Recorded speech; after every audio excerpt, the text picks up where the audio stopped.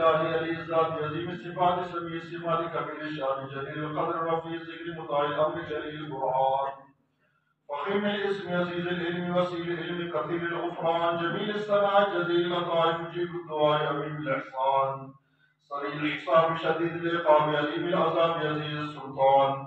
ونشهد أن لا إله إلا الله وحده لا شريك له في الخلق والأمر ونشهد أن سيدنا ومولانا محمدا عبده ورسوله.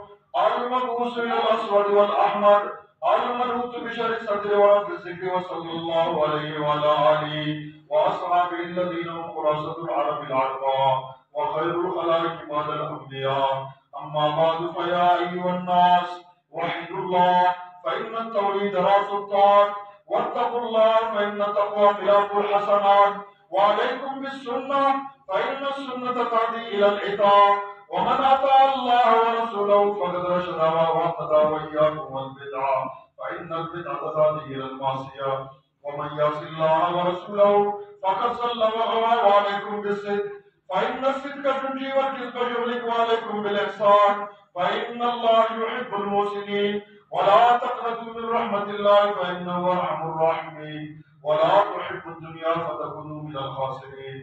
ألا وإن نفسا لن تموت حتى تستكمل رزقها فاتقوا الله واجبروا في الطلب وتوكلوا عليه. فإن الله يحب المتوكلين. وادعوا فإن ربكم مجيب الداعين واستغفروا جندكم بأموال وبنين. أعوذ بالله من الشيطان الرجيم. وقال ربكم ادعوني يستجب لكم. إن الذين يستكبرون عن عبادتي سيدخلون جهنم داخلين. بارك الله لنا ولكم في القرآن العظيم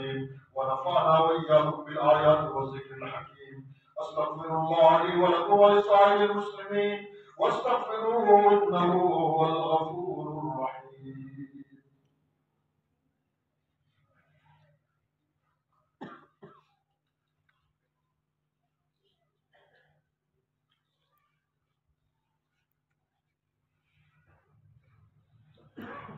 الحمد لله الحمد لله نحمده ونستعينه ونستغفره ونؤمن به ونتوكل عليه. ونعوذ بالله من شرور انفسنا ومن سيئات اعمالنا.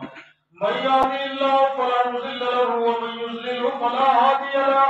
ونشهد ان لا اله الا الله ونشهد ان سيدنا ومولانا محمدا عبده ورسوله. ارسله الى الناس بشيرا ونذيرا وداعيا الى الله باذنه وسراجا منيرا أما بعد فأعوذ بالله من الشيطان الرجيم إن الله وملائكته يصلون على النبي. يا أيها الذين آمنوا صلوا عليه وسلموا تسليما. اللهم صل على سيدنا ومولانا محمد عبدك ورسولك. وصل على المؤمنين والمؤمنات والمسلمين والمسلمات. وبارك على سيدنا ومولانا محمد وأزواجه وذرياته.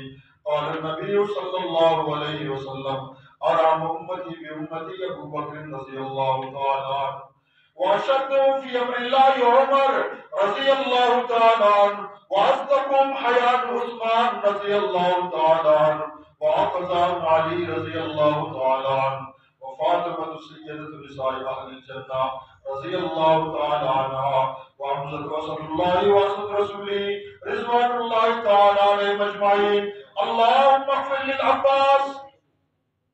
وولده مغفرة زائرة وباطنة لا تغادر ذنبا.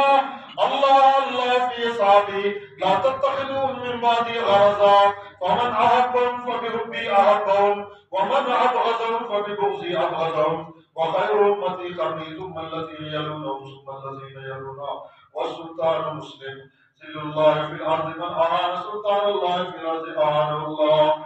إن الله يأمر بالعدل والإحسان وإيتاء ذي القربى وينهى عن الفحشاء والمنكر والبغي يعظكم لعلكم تذكرون فاذكروا الله يذكركم وادعوه يستجب لكم ولذكر الله تعالى